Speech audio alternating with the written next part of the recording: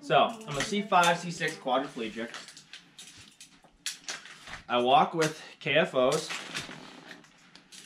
It took me quite some time to get able to walk distances. But I'm basically walking with my hip flexors and swinging my trunk and my abs. I first started to walk, it took me, I could maybe take 10 steps. Now I can pretty much walk as far as I want with these braces.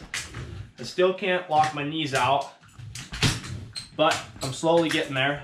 Uh, I'm nine years post and still getting certain functions back in my lower extremities. Um, get some quad firing. So when doctors say you got a six month to a year window of getting things back, it's complete not it's completely not true.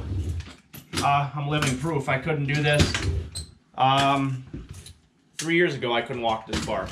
So, never give up, guys. You might have more talent than me. You might be smarter than me. But I will not be outworked. Period. It's such a simple, basic concept. It's the guy who is willing to hustle the most is going to be the guy that just gets that loose ball. There's only one thing you cannot purchase. There's only one thing you cannot buy, and that's what real beef do. That's something you're gonna have to do. You gotta put more energy and you gotta put more effort in your stuff than anybody. So you getting up at four and it ain't working. Get up at 3:30. So you read the book once and you didn't get it. Read it twice. Read it three times. If a person leaves at six, you leave at eight. If a person makes 100 calls a day, you make 200 calls a day. If somebody practices three hours, you practice five hours. If somebody practices six hours, you practice eight hours. If someone reads two books, you read four books. Just do a little bit more. Because there's somebody out there who wants your spot.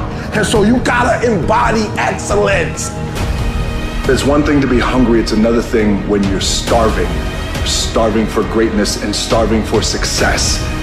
You start training, train like it's your life, not a game, like it's your life. Like this the last opportunity, only opportunity. See a guy like me? I knew someone was better than me. There's more talented people than me. Probably more talented than you. But you might outwork me for 30 days or 60 days or 90 days, but you ain't gonna beat me over a year. You can't outwork me over two years. You aren't gonna outwork me over three years. I'm gonna get you eventually. I'm a dripping damn faucet. I just keep coming at you. You might think I'm not that, I just keep coming. I'm too damn tough to give up. Most people half-ass half their life all the time. I knew they were gonna get tired. They were gonna flinch. They were gonna get down.